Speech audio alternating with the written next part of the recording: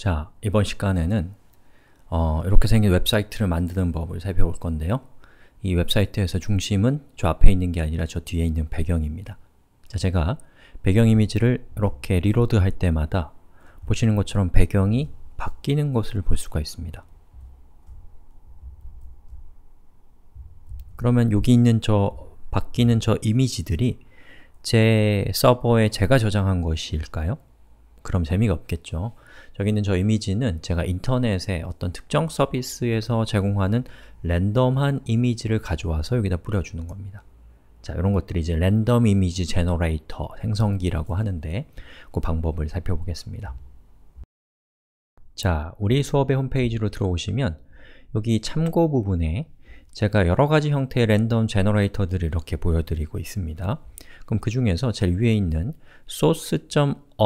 source.unsplash.com이라는 서비스에 어, 여기 있는 요 주소를 카피해서 여러분이 주소창에다가 놔 보시면 보시는 것처럼 저런 이미지가 나오는데 리로드를 할 때마다 조금 시간이 걸릴 수 있어요. 금방금방은 안 바뀔 수도 있습니다.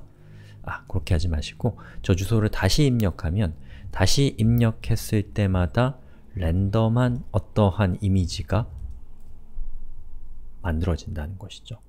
즉, 이런 것들이 이제 redirection이라고 하는데 여러분이 주소를 입력하면 그 주소에 저 주소로 들어가서 저 서비스가 어떤 특정한 이미지로 사용자를 다시 redirection, 다시 보내주는 것들을 redirection이라고 합니다. 이런 식으로 처리되는 서비스가 바로 어, unsplash이고요. 그 밑에 있는 것들은 비슷한 서비스들입니다. 근데 그 중에서 제일 위에 있는 Unsplash 요게 어, 가장 퀄리티가 좋기 때문에 저는 요거를 사용해서 여러분들에게 소개를 해드리겠습니다. 자, 왼쪽에는 우리 사이트의 완성된 모습이고요. 오른쪽에는 그 사이트의 코드가 있는데요. 여기 있는 이 오, 른쪽에 있는 코드는 여러분들 중요한 게 하나도 없고요. 그냥 왼쪽에 있는 그 형식의 사이트를 만들어낸 코드일 뿐입니다. 거기에서 우리가 해야 될 건 단 하나 여기 있는 body 태그 body를 선택하는 선택자 안에다가 백그라운드 이미지와 백그라운드 사이즈를 지정을 하시면 이 작업이 다 끝납니다. 그게 핵심 아이디어이기 때문에 그걸 먼저 소개해 드릴 겁니다. 자 우선 여기 있는 source.unsplash.com으로 들어가서 이 사이트에서 제공하는 이 랜덤한 이미지를 만들어내주는 주소를 카피한 다음에 저 주소를 요 웹페이지의 body 태그의 background 이미지 URL로 저 주소를 넣어줍니다.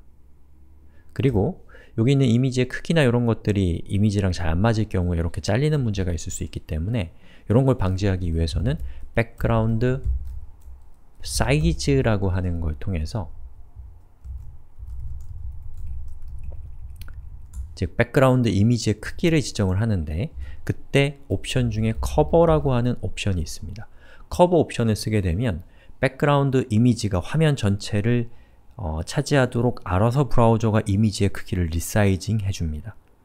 자 그럼 여기, 요, 여기까지 하면 일단 끝났고요. 그럼 이제부터는 우리가 웹페이지를 reload 할 때마다 적당한 어떤 특정한 랜덤한 이미지가 화면에 이렇게 표시가 되는 걸 볼 수가 있죠. 특히나 이 unsplash라고 하는 이 사이트에 올라와 있는 이미지들은 어, 사실 여기서 가져온 겁니다. Unsplash 라고 하는 사이트고 이 사이트에는 여러분이 저작권에 대해서 어떠한 걱정도 하지 않고 마음대로 쓸 수 있는 굉장히 퀄리티 좋은 이미지가 올라와 있습니다. 여기에 있는 이미지를 가져다 쓰는 것이 바로 지금 우리가 그 접속했던 이 사이트고요. 이 사이트에서 랜덤한 주소를 여러분에게 제공을 하는 것이죠. 그러면 이제 웹에 좀 익숙하신 분들은 이걸로 이제 설명 끝났어요. 더 보실 필요 없겠죠.